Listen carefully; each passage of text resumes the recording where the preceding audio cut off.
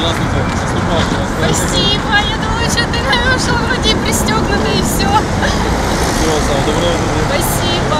Настоящие мужчины. Вспышки фотокамер, съемочная группа и толпа людей. Но нет, женщины за рулем замечают только инспектора. Многие останавливаются с серьезным видом и совсем не подозревают о праздничной акции. Сотрудник ДПС с охапкой роз однозначно вызывает удивление.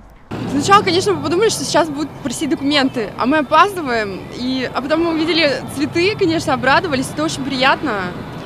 Вот, как, вот всегда бы так, э, особенно по субботам и по пятницам. Ну я в шоке. А мы обязуемся не нарушать.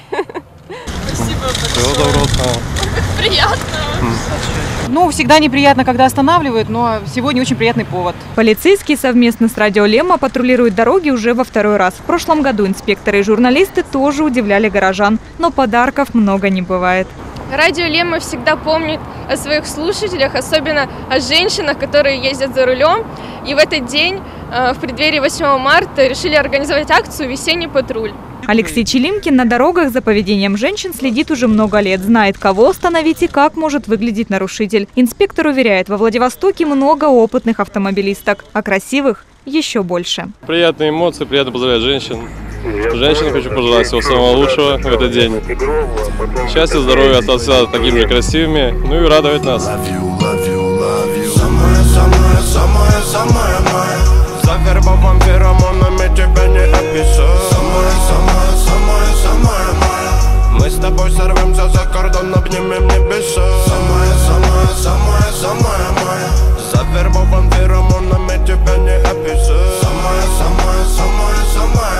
Валерий Белоус, Дмитрий Сухоруков. Новости на восьмом.